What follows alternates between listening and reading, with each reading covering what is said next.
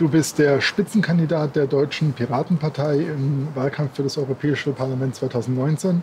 Und ich wollte dich jetzt fragen, was ist eigentlich dein persönliches politisches und dein größtes, wichtigstes politisches Anliegen, was du im Europäischen Parlament umsetzen möchtest, wenn du halt als Spitzenkandidat der Deutschen Piratenpartei dort einziehen würdest?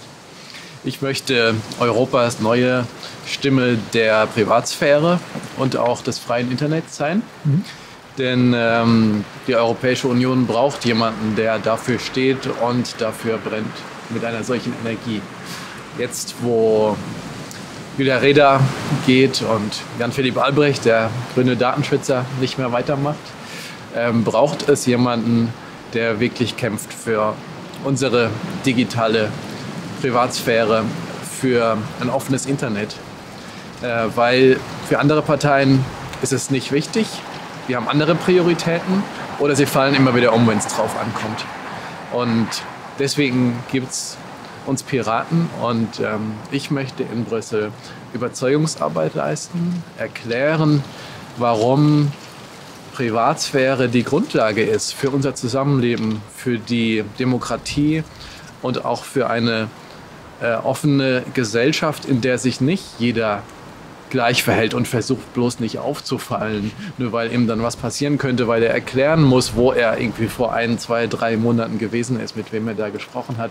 Das ist keine freie Gesellschaft und das ist nicht eine Gesellschaft, in der ich leben möchte. Mhm. Und das eben zu erklären, worum geht's bei Grundrechten, bei Menschenrechten, warum ist das so wichtig? Da ist eine Menge Überzeugungsarbeit zu leisten aber natürlich auch eine Menge Druck zu machen. Das heißt, es geht auch darum, ähm, die Menschen zu informieren. Hier, passt mal auf, was da gemacht werden soll. Hier müsst ihr aktiv werden, mit den, den Leuten müsst ihr reden. Und es geht auch darum, Dinge aufzudecken. Dass man zum Beispiel Sachen, die unter Verschluss gehalten werden, wo man versuchen will, hinter verschlossenen Türen an der Öffentlichkeit vorbei was durchzudrücken. Und gerade beim Bereich Überwachung, Schutz der Privatsphäre ist es so, dass oft eine Sicherheitsindustrie Hand in Hand arbeitet mit Überwachungsbehörden und Sicherheitsbehörden, die auch ein Interesse daran haben, die Menschen zu kontrollieren. Und sowas muss aufgedeckt werden und offengelegt werden. Und da sehe ich meine Rolle. Mhm. Ähm, man hört ja immer wieder, dass die Europäische Union sich in einer Krise befinden würde. Wo glaubst du, steuert die Europäische Union als Ganzes hin? Ich glaube, es ähm, gibt zwei Richtungen, wo die anderen Parteien die EU hinsteuern wollen. Zum einen gibt es die etablierten Parteien, die wollen weiter so. Ähm, weiter Europa, mehr Europa, so wie es bisher gelaufen ist. Das Problem ist, die EU hat bisher aber die Menschen zurückgelassen. Die EU ist zum Elitenprojekt geworden. Mhm. Da werden hinter verschlossenen Türen von Regierungschefs irgendwelche Verhandlungen geführt und äh, Verträge geändert, ohne dass die Menschen einbezogen sind. Und das gefährdet die Europäische Union. Wenn man so die Menschen zurücklässt, haben sie auch nicht mehr den Eindruck, dass Politik für sie gemacht wird. Und dieser Eindruck ist leider oft richtig. Mhm. Das Zweite ist, es gibt diese rechten, autoritären, nationalistischen Parteien. Die wollen die EU überhaupt nicht mehr. Sie wollen sie, wie die AfD bei uns, zu einer reinen Wirtschaftsunion machen. Also letzten Endes ein bloßes, reines Europa der Konzerne, was sich nicht mehr in die, für die Angelegenheiten der Menschen einsetzt, wo es nicht mehr um freie Bewegung von Menschen geht, sondern nur noch um Kapital und Wirtschaftsinteressen. Und auch das droht Europa zu zerstören, weil es dann kein gemeinsames europäisches Projekt mehr ist. Und was wir Piraten wollen, ist eigentlich ein dritter Weg. Wir wollen die EU neu aufsetzen, um es mal sozusagen in Informatikersprache.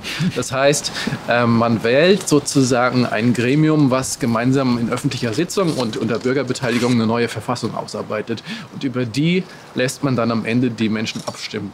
Und da muss wirklich ergebnisoffen gesehen werden, wie wollen wir Europa bauen? Wie soll Europa aussehen? Für mich gehört zum Beispiel dazu direkte Demokratie.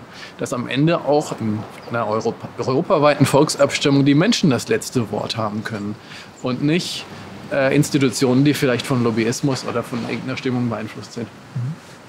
Zuletzt würde ich ganz gerne von dir wissen, was äh, ist deine, deine große Stärke bei deiner politischen Arbeit? Ich glaube, ich kann sehr hartnäckig sein. Ich kann mich äh, gut eingraben in äh, Sachen. Ich bin ja äh, Jurist, habe so ein bisschen den Background mit Gesetzgebung, komplizierte Sachen, ähm, Gesetze zu hacken, ja, sowas kann ich ganz gut.